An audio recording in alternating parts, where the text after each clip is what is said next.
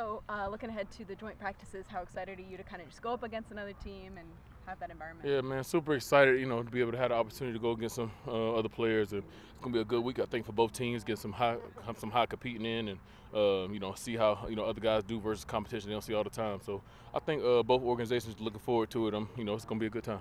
We were talking to Brian. There's that line of like, all right, we're getting too competitive, we're getting a little too too intense. How do you kind of stay in between those lines? You know, I don't know if it's much of a line. You know, you can't go out there going crazy, but at the end of the day, you know, it's a job to be done on both ends, and you know, it's a competitive game, physical game, and you know, whatever done will be done, and um, you know, that's why we do what we do, and that's why you know guys play this game. And he was talking about how the practices are kind of more chippy, more interesting yeah. in the game maybe sometimes yeah. because it's a little bit of a different energy in the practice. Yeah, the definitely, setting. definitely more grimy, definitely more grimy in practice, and that's why you want to make it harder in the practice, you know. Um, so, and definitely it's down to the group of guys you got, man. You know, we got we got some guys who who willing to willing to buckle it up, you know. And uh, so, I mean, that come down to the character of the team, but a controlled um, aggression is probably what we want to go with the most.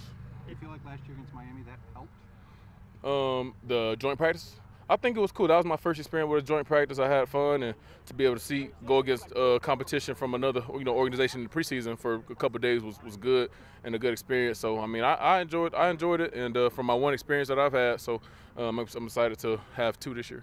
It doesn't happen on every rep, but when but when you have AL one on one against against Chris, do you enjoy those? That's two high level guys going against each other. How are those battles, and do you think they're yeah, you know, it's been highly competitive between me and Chris for years, and I think it makes us both better pros and both, you know, and um, but I mean, just going against each each one of them guys across the line, man. I mean, Elijah's been doing a great job for us, man. It's been encouraged to have him come in and do a good job, and he's been a highly competitive dude.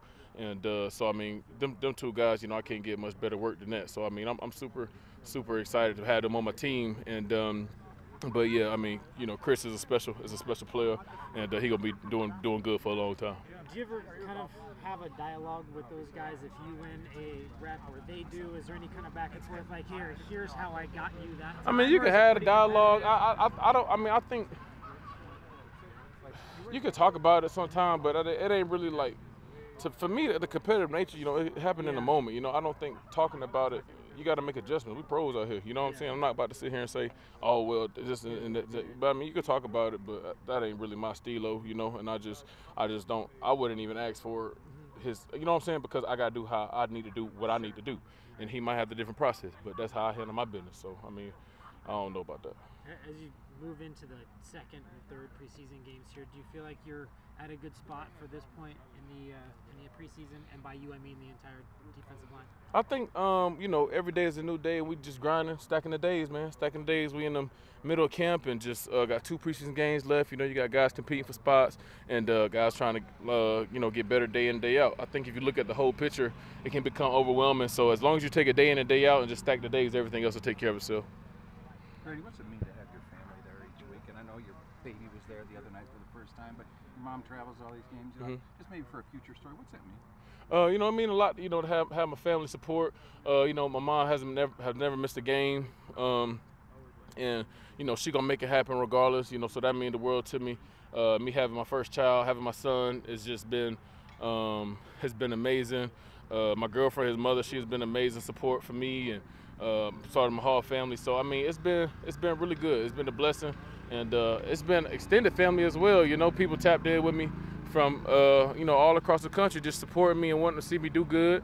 And uh, so I mean, it, it, it mean a lot, man. It definitely take a village, and uh, but but. Um, you know, I could, I could, I couldn't be blessed with a better situation, and I'm grateful, grateful for that. And um, I mean, it's just super cool. You know, we had the um, uh, open practice last night at the stadium, and I'm just running around with my little dude, man. Is he got his Jarrett stuff on, and just it's just it's really surreal, you know. Because at the camp last time he was he was in that stomach, you know what I'm saying, kicking and stuff. I think he he, he might have felt what was going on, but he didn't see it. So just to see him uh, becoming more aware and just see what's going on, he come on the field and run around, and so I mean, like I said, like I said. Uh, the interview last year, just talking about, you know, at this point in my life, you know, it's about leaving a good legacy, you know, for my family and building building that and you know making making the family name great. You know, make people proud when they hear that name, and uh, so that's one of the biggest things I'm proud of is just the um, pride that I can give my family and the experiences and. Um, you know, it's about giving back. And they give me so much too. You know, so it's a, definitely a team effort, and um, you know, I uh, thank God every day, you know, for them and for their protection and continued support, and you know, because I, I it's, a, it's a journey we all do together. Returner, how do you sort that out sometimes, or do you feel like you know what you want to do there? I mean, again, this our roster. When you talk about the punt return room, the returners, we have. Um, we're very fortunate here to have a, a, bunch of different guys that could catch field punts, which is not easy to do, Mike. And when you talk about that position, the number one thing that we're looking for is one decision making and ball security. Because anybody, you can have a guy that's dynamic with the football, but if they're not making the right decisions and they're not catching the ball properly and having ball security, then that goes out. That goes. You can just throw that in the back burner when it comes to being a returner. Right now, all of our guys are making great decisions when it comes to practice. We only had one opportunity in the game, but you get fast forward. You could move. Forward. Let's talk about kickoff return. Like you had Cam back there. You had um, Avery Williams back there. I thought they did a great job this past week in making great decisions when it came to when to take the ball out, when not to take the ball out. So those are the two top things: decision making, ball security. What you see on kick return translate in some ways to punt return when you're making a decision maybe on a punt returner since, since the theory of Cordarrelle being a kick returner still exists? I thought D. was going to be the returner. All right. That's what we, we, we talked about that. Yeah. On Madden, right? Madden, okay. I got to see that tape. We got to pull that up. Return right. right. We got a ball set up. Return right, you went left. All right. So when you talk about. That's good on Mike. All right. So when we talk about kickoff returners, I know there's two different spots because as a punt returner, the, you can't control when the coverage is going to be downfield based on the hang time, based on how far that ball is being punted. On kickoff, you think theoretically it's going to be about 30 to 25 yards of space when you do catch the ball. So when it comes to decision making, um, they're two different things because there's two different ball flights, there's two different rotations on the ball, and the coverage is in different spots when you talk about when the ball is being caught.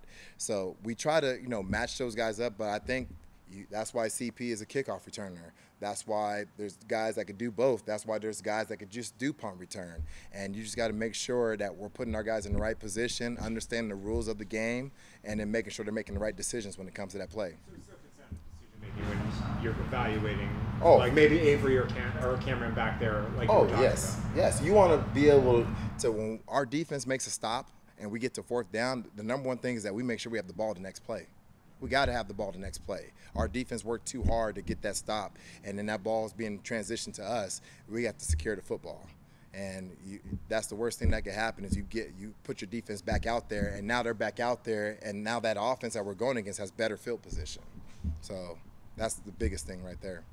How has, uh, how has uh, Bradley been so far since you guys have got him? Now he's the primary he's been doing a great job, you know, getting in our program, understanding what we want to accomplish on special teams, uh, on field goal, punts, kickoffs. He's been great for the room. He's been great for Koo. He's been great for our, our other core players when it comes to special teams. And again, um, his best days are yet to come in his profession, and we're excited to have him. What was your reaction to when, to when he got signed? Because he is an established veteran, the guy who's done it I mean, as an organization, I can speak for us. We're, we were excited to have a guy that's been a special teams captain, Super Bowl champ. You know, has, had a great career so far, and he's continuing to get better and grow. And overall, he's a good human being. You know, both on and off the field.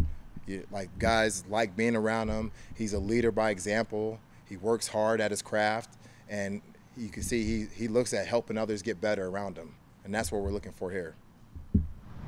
Marquice, is is, is there ever any question that CP is going to be back there? I know he's one of the greatest kick returner, maybe the greatest kickoff returner of all time. Is there ever a thought that maybe because of his workload offensively, he may not be back? I mean, there's always those thoughts, whether you know, based on his workload, based on what type of team we're going against. And I know I've kind of answered this question before. It's a week by week process and decision when it comes to who's going to be our kickoff returner. Yes, we love CP to be back there, and he wants to be back there. And do we want him to break the record? For sure, we want him to break a record. The guys that are out there blocking for him wants him. they want him to break the record.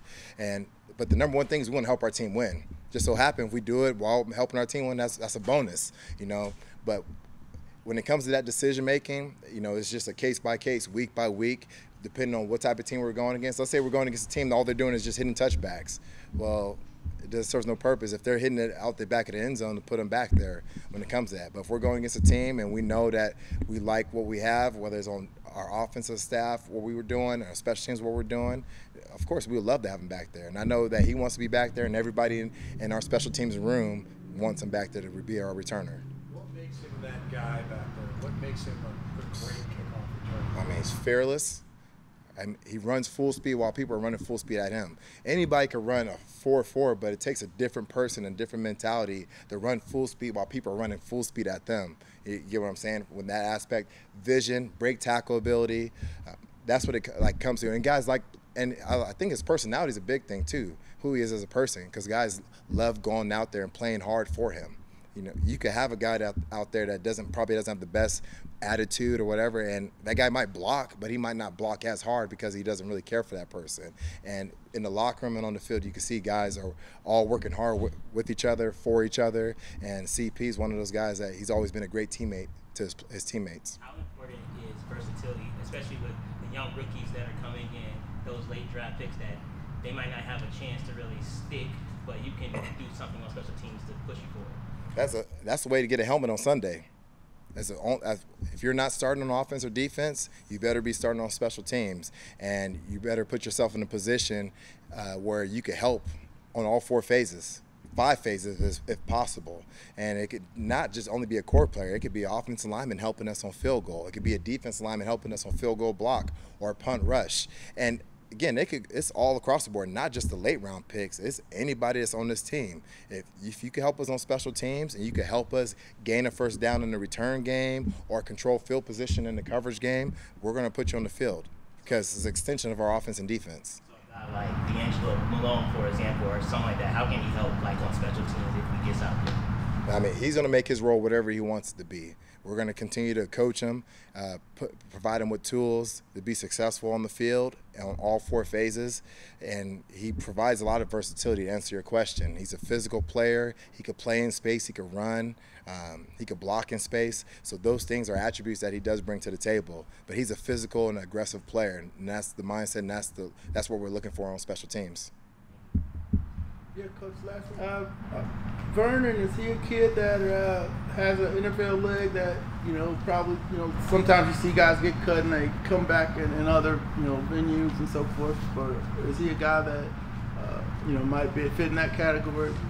One, we're very blessed to have Seth here. He does have a very strong and talented leg at the play at this level, and you know I wish him nothing but the best when it comes to that position and him, you know, playing and his, his future in the NFL. But he is talented, and he's going to, again, his best days are yet to come in this profession. And I'm excited for him, whatever that may be. Uh, Coach, how did you feel the, um, the quarterbacks did in the first outing there? Yeah, I think first and foremost, there's a couple of things we wanted to accomplish with the quarterbacks. Um, get out there and get out of the huddle with tempo. Um, get us into the uh, logistically, the motion landmarks, the right plays. So we wanted to see that from a mental standpoint. And then physically, right, we wanted their instincts to take over.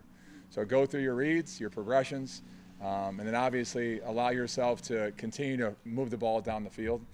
And uh, you saw it in the first drive with Marcus. Not everything played out exactly perfectly, um, but he found a way to continue with the rest of the offense to keep the chains going and find the end zone. And so for us, right, things to coach off of – but more importantly, we want to see these guys go out, lead, uh, which we felt they did. And, um, you know, there's things to coach on, but we'll get better from it. And uh, the running back, the one thing, uh, the one quote after the game was Qadree said, there were lanes. like, like there were holes to run through. Um, and I guess yeah. there might not have been. And, uh, no, I think what, you know, with Q, obviously he had some runs there that um, allowed him to get some extra yardage. And I think what we all did a good job of from the offensive perspective with the players, uh, their ability to execute what was asked. And again, nothing happens by one player doing something supernatural. All 11 guys have to be on the same page. And there was times that we were, and there's times that um, we need to coach uh, better and make sure they are. But for the most part, for the first outing, I thought guys played fast. What uh, what type of work you want to get uh, when you all see the Jets and they got another practice. Yeah, but, but, uh, yeah, it's great to go against another opponent, uh, an opponent that uh, you know defensively uh, will give us a different look in terms of how they play their fronts, uh, some of their structures in the back end, And for training camp, it allows us to go back to some of our base rules, and the quarterbacks have to apply them as well as the rest of the offense. And there's always, you know, when you're a player and you go against the same guy over and over in training camp, then you go against a different competitor and a different team in practice setting. Like it does bring a different element of energy. Um, and these guys are all competitors. Uh, they play hard between the whistles, but they're also professionals and know how to do that. And it's exciting for all of us to go out there and, and compete against somebody else to get better. Um, and it'll allow us to challenge ourselves in a different way, uh, which these guys have done a good job of accepting challenges and moving on. How's the line uh, progressing?